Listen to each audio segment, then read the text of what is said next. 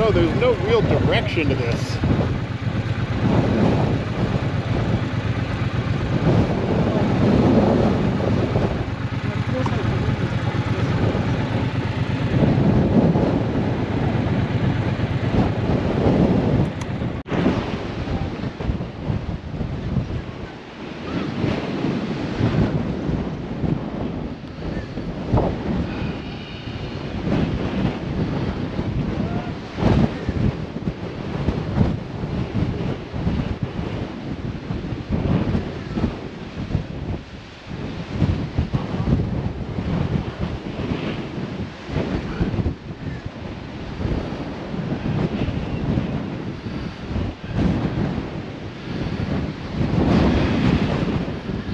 The wind is so strong here that it's almost knocking me off my feet.